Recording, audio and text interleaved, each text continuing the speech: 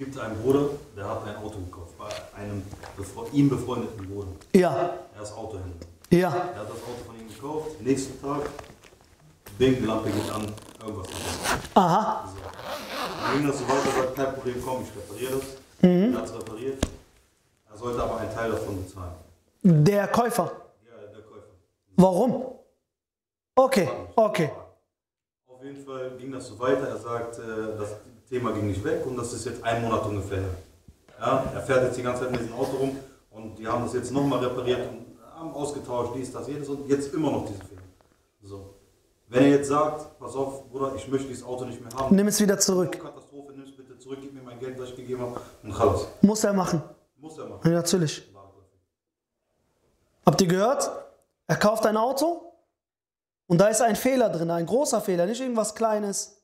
Ja, weil äh, diese, es gibt Al-Gharar auf Arabisch, ja? Al-Gharar. Al-Gharar bedeutet, dass irgendein Makel, irgendein Fehler an der Ware ist, was erwähnt werden muss. Zum Beispiel beim Auto. Und er erwähnt es nicht.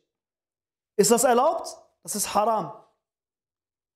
Das ist haram, das ist verboten. Das heißt, wenn du diesen Fehler findest, zurückbringen und er muss es annehmen. Wie lange? Zwei Wochen, wie bei der Regel äh, im Kauf. Wie heißt die Regel? Wiederkaufsrecht. Ha? Äh, wie heißt es?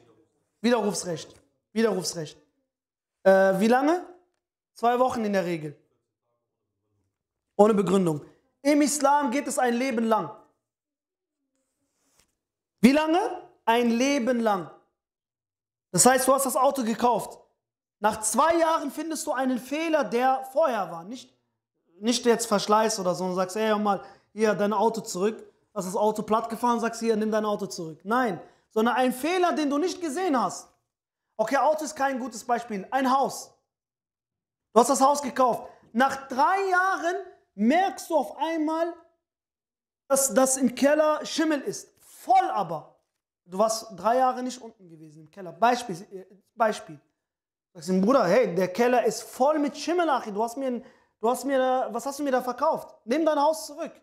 Mu muss er das zurücknehmen als gläubiger Muslim? Ob er das macht oder nicht, ist eine andere Frage. Aber laut Islam muss er das wieder zurücknehmen. So, es gibt aber dann noch kleine Fehler. Zum Beispiel beim Auto. Der verkauft dir das Auto und dann ist da ein bisschen Rost. Da kannst du nicht sagen, hey, nimm dein Auto wieder zurück. Hat er nicht gesehen, Miskin. Er hat das vielleicht nicht gesehen. Ja?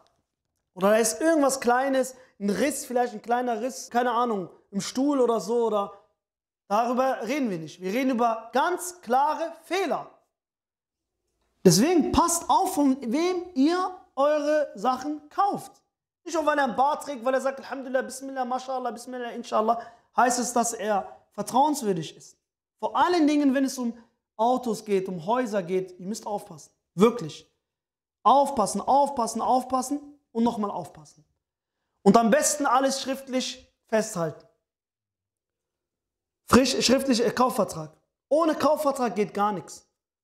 Ja, aber der Bruder ist doch nett, ich kenne ihn, ich brauche, ich vertraue auf Allah. Äh, Genau, weil du auf Allah vertraust, Lesbab, musst du einen Kaufvertrag machen. Sonst sagt er dir, ich kenne dich nicht. Hast du, hast du schwarz auf weiß Kaufvertrag mit mir? Nein, also, mach was du willst. Ja? Oder wie manche äh, Autohändler unter den Muslimen sagen, Bruder, sobald du mein Gelände verlässt, keine Garantie. Guck mal, wie der denkt, der Billah.